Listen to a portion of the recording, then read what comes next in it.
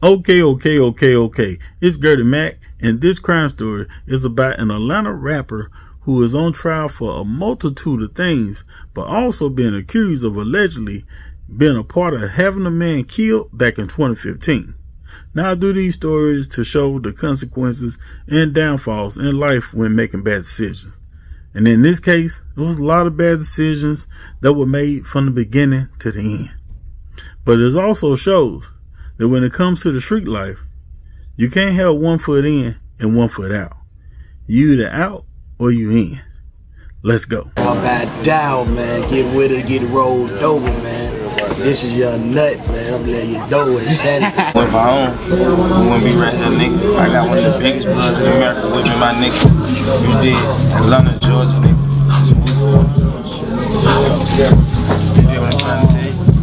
We like Big shout out to Birdman and YMCMB Rich Gang YSL for life. Oh, man. How does it feel to make a meal when you ain't even signed yet?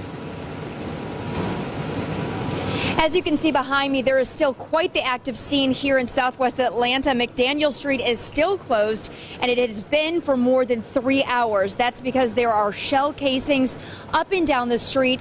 Now, I'm told one of the men who was shot, a man in his mid 20s, is in critical condition, but that his status could change for the worse overnight. It appears that they were the intended target, but again, not sure the, the reason of the, uh, the shooting. Atlanta police are investigating why two men in their mid 20s and a 14 year old boy were shot outside of a barber shop in southwest Atlanta Saturday night. Uh, right now, it doesn't appear that they had anything connection to the to, to the business. They were just kind of hanging out, is what we appear. Investigators say it appears to have been a drive-by shooting, and according to several witnesses we spoke with, an automatic weapon was used. Heard like some like a semi-automatic or something and um, I came running to the front of the gate because my Uncle Sammy be hanging. Sugar Thomas is one of dozens of residents who weren't allowed into their apartments while police investigated. K-9 units were used to locate additional shell casings and other evidence. 30 minutes, next be 45 minutes, then somebody said be four more hours. Really? I gotta go work in the morning. We praying for the people that got shot. Other than that, we gotta get in the house though. Now, y'all know Young Thug is on trial with this RICO case. It's been up and down, and it's been long. Um, but one thing about a RICO, it ain't just about one charge. It's a whole lot of things that they're trying to accuse him of and get him on. Basically, they're trying to put Young Thug away forever, for a long time, with no chance of possibly getting out. They're trying to tie him in with a whole lot of stuff, even the YSL stuff. So, you know, you had a lot of people from YSL that used to be with Young Thug that have basically kind of taken a stand and testified against him. But now, this particular point in the trial, they're talking about when Donovan Nut Thomas was shot and killed outside of Atlanta barbershop. Now, if you don't know, this is Donovan Nut Thomas right here standing beside Young Thug. This is a moment when Young Thug was just kind of like Mean Birdman when him and Rich Homie Quan was um basically assigned to Birdman as Rich Gang. When they was basically like a duo, they was like a little rap group and putting out a lot of hits back to back. Now Donovan Nut Thomas in Atlanta, he was tapping into the music industry, kind of like being a manager and all that. He was messing with YFN and Lucci, Rich Homie Quan, and Young Thug. So allegedly, all these guys were friends at some point. Now, Young Thug and Donovan Nut Thomas allegedly had some kind of falling out. Now, all the details of what it's about, I don't know, and I don't want to speculate on it. But there's been a lot of different stories about what went on between those two. There are plenty videos online showing Young Thug showing nothing but love to Donovan Thomas, aka Nut. Now, like I say, what went wrong between those two? There's a lot of stories out there about this happened, this happened, this happened. All a lot of stories out there. But do anyone really know for sure? Only people that really is going to know what really went down between those two are the camps and everybody involved. And a lot of that stuff is coming out in this court process. Now, the latest thing with this Thug Rico case is that they have brought in Donovan Nut Thomas' mother to relive the moments of when her son was shot and killed in 2015 during a drive-by outside of an Atlanta barbershop. What happened to your son? Did he die, die of natural causes? No, my son's death was a homicide. How did you find out your son had been harmed? I received a phone call. I visited him on um, birthdays, Father Day, um, and just days in general that I felt I wanted to just go there. Did your son's gravesite remain as it did when it was first placed in the years following his murder?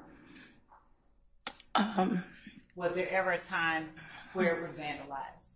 yes, it was vandalized. Um, January 19th, um, I, it was Father's Day. I drove up to my son's gravesite and once me and, um, we drove up there, we, um, noticed that the gravesite had been vandalized. And when I got out the car, um, I wasn't familiar with the word, but some of his other friends were in the word. It was something was spray painted, uh, slat on his grave and it was chiseled around the size of the headstone.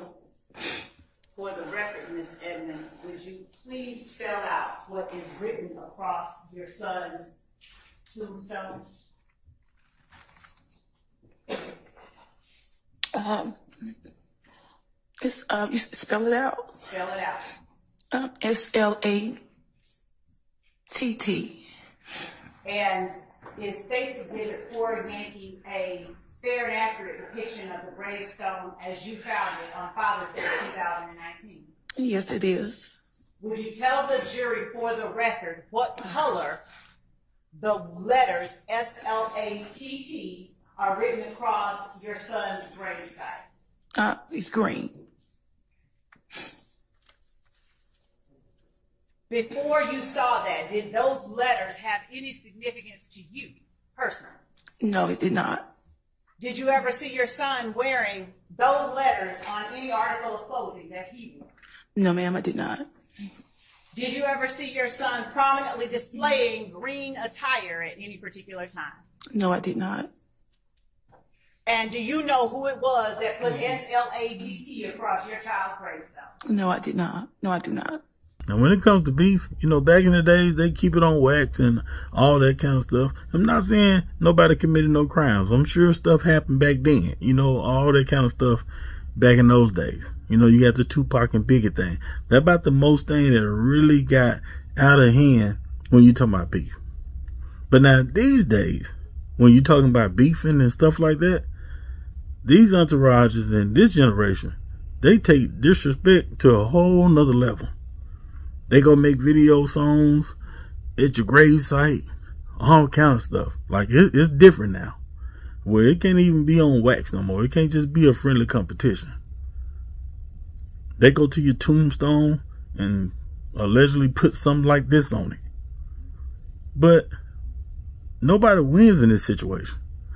Donovan Nut Thomas lost his life, and now Young Thug is facing a RICO case where he possibly you know, can spend the rest of his life in prison.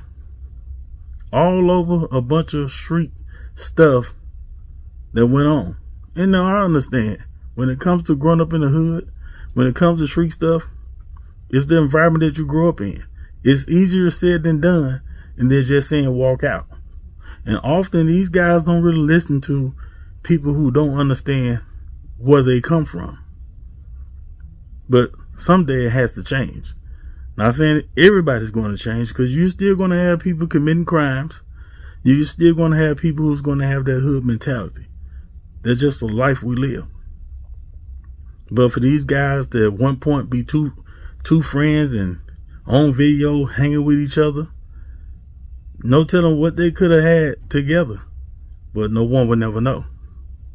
But for Young Thug, he quote unquote made it out the hood, living a lifestyle, rich and famous. hit songs, working with Kanye West, working with a whole lot of people. Had a big audience, a big following, even started his own label, providing opportunities from other guys for other guys from his hood in the Atlanta area, opportunity to change their life and their family life around. But, like I say, you can't have one foot in and one foot out. But y'all get in the comments and let me know what y'all think about this. Don't forget to subscribe to the channel, like and share this video. Holla.